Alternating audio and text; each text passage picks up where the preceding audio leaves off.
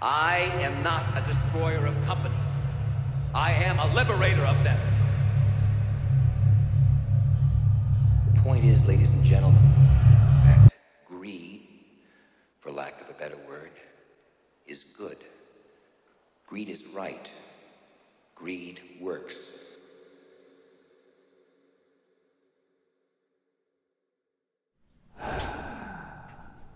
I'm Jonathan Quigley, and today, today we're gonna make a capitalist martini.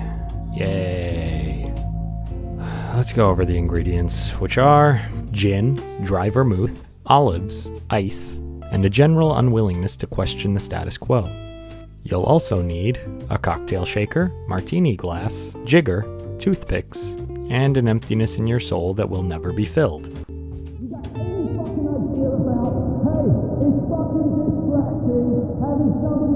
First step is to fill the martini glass with water and ice. This will make sure our glass is nice and chilled, unlike our planet, which is.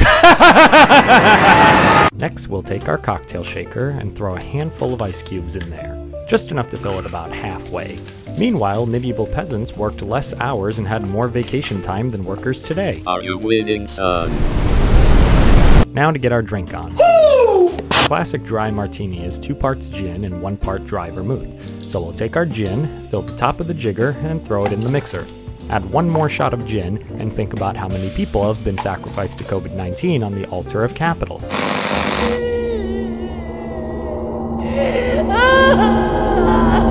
And now we add the dry vermouth. Just fill the jigger once and throw it in. Oh, members of Congress are allowed to make decisions at the federal level on the Ukraine Russia conflict while also buying and owning stock in weapons manufacturing companies? I'm sure it's just a coincidence that elected politicians always seem to personally benefit from US involvement in armed conflicts. The free market is great. Uh, but I have to say, we're capitalist. Now that we've added the gin and vermouth, we'll put the lid on the mixer and start shaking. Thoroughly shake the mixer for exactly 30 seconds. During this time, we should consider that due to modern advances in technology and productivity, we should be living in a post scarcity world and working less hours than ever before in history. We produce more than enough food, shelter, and basic resources to meet the needs of every person on Earth, but unfortunately, capitalism has created a world of artificial scarcity in order to justify its own existence. Next, we'll dump the ice water, take the cap off the mixer, and pour our drink into the glass. Don't forget that capitalism is inherently unsustainable and regularly needs to be bailed out after economic crashes created by its very design. Oh, not good. Now our martini is almost finished. We just need to grab our jar of olives and our toothpicks and stick two olives onto a toothpick. When you do this step, don't forget that a system based on infinite economic growth is inherently incompatible with a planet of finite resources. Nothing wrong. Now we can take our skewered olives and drop them in the glass. Now that we've finished the martini, we can see that capitalism is an economic system based on the means of production being owned and controlled by private individuals to gain profits and accumulate wealth and further private property. And this is what we've created a world in which the vast majority of us work ourselves to the bone, neglecting our physical and mental health, being denied the pleasures of life and leisure, the pursuits of art and culture, a sense of community and shared prosperity, love and compassion. We have been denied all of this so a select few special people can have more wealth than the gods themselves and just sit on it like dragons, or spend it on joyrides to space. Once you take a sip of the martini, you'll probably be hungry, so we're going to need some food. Normally, people would just make a meal to eat, but due to the innovations of capitalism, we can just order food on our phones and have it delivered by overworked and underpaid gig workers, undermining a century of labor laws and worker protections. Now that we've got our food and martini, let's take a load off on the couch and watch some shows while we eat and drink. Just give them bread and circuses and they'll never revolt. Today, we're watching John Oliver's Last Week Tonight.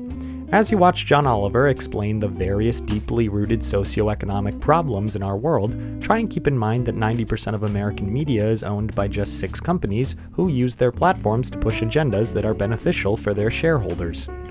Now that we've started watching John Oliver, we can start watching some other left leaning content creators to learn more about the bad things that are going on in America and the world. The more you do this, the more you'll find yourself talking about these issues with your friends and family, like explaining to your parents that the economic conditions today's youth are experiencing are substantially worse than what they experienced in every conceivable way. Next, you'll need to choose your class list for next semester. You notice one of the poli sci classes is called Capitalism and Modernity. You've begun to question the validity of the capitalist realism mindset, and you also need a poli sci credit to graduate, so you take the class. Can't afford a college education? Don't worry. You can just straddle yourself with tens of thousands of dollars of debt for a college degree that is somehow increasingly expensive, decreasing in value, and required by the majority of employers. How? How, how can it be all three? Now you're taking an upper level class about capitalism. You don't always do the readings, but you start picking up new terms like labor exploitation, class consciousness, and Marxism. Begin to expand your base of knowledge.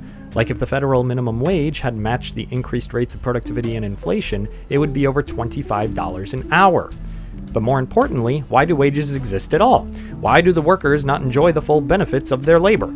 Now, if you've done all the previous steps correctly, a global pandemic should spread across the planet a couple of months before you graduate college. Not like anyone saw this coming. Now your last semester of classes is being done remotely, but don't worry, you'll pay the exact same amount for online classes, so your college's profit margin won't take a hit. Have an online graduation, enter the workforce, get a modest job as a COVID tester, slowly become bitter and resentful as the modern work week consumes a third of your life with menial, repetitive, and mind numbing labor. Rant to your coworkers every day about the horrors of the capitalist system and why we're all being exploited and need to do a revolution. There is no ethical consumption under capitalism. All cops are bastards, and things are going to change. Nothing changes. They actually get worse. The answer is not to defund the police, it's to fund the police. Fund the police.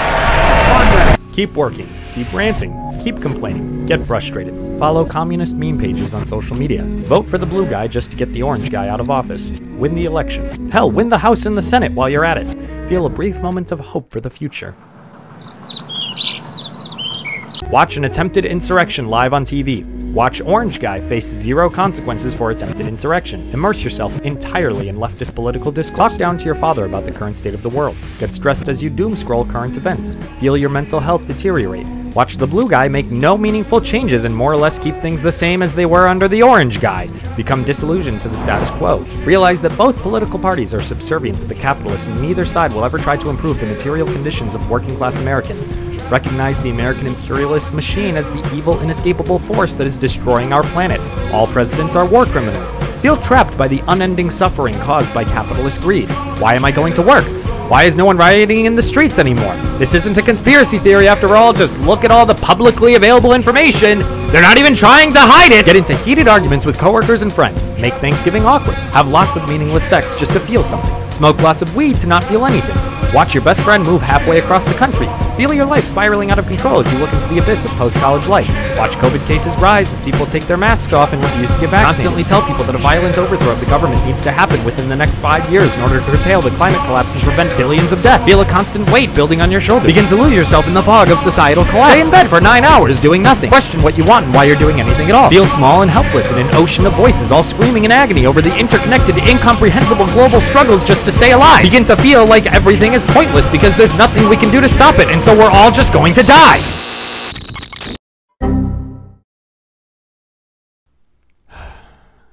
And then, while you're ranting to a friend once again about the evils of capitalism, they ask you a question.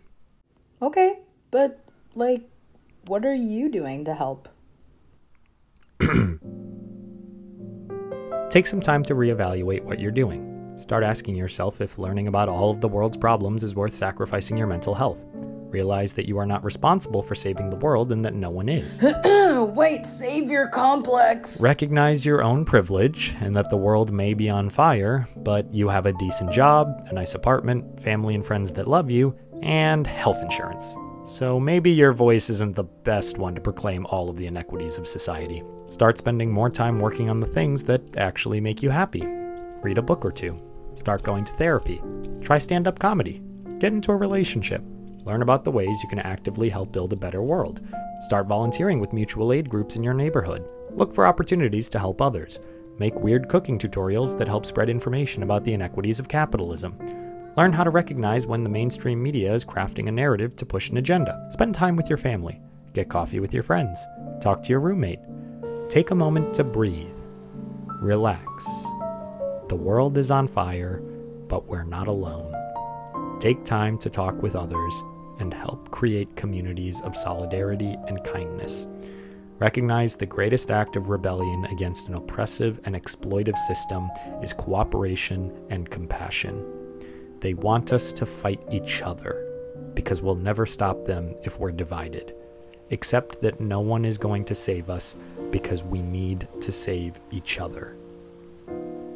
And finally, always try to be decent.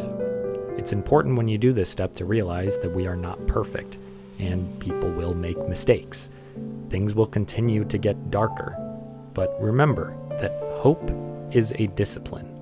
That's a quote from Mariame Kaba, an activist and author of today's book, We Do This Till We Free Us.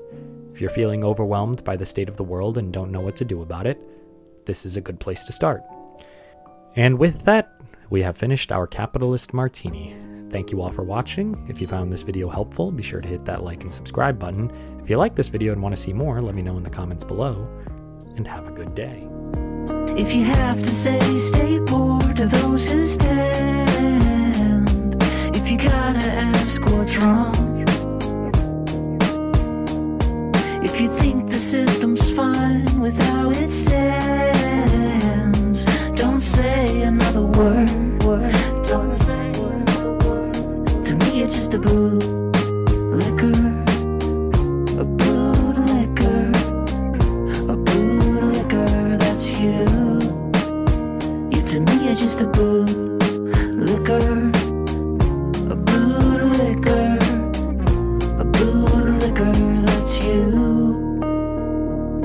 That's you.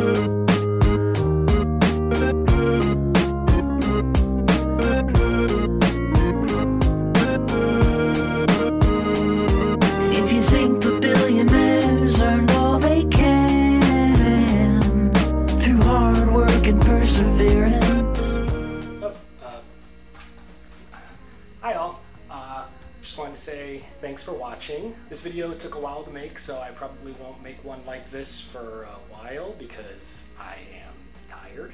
But don't worry, I got more videos coming soon. In fact, here's a preview of the next video.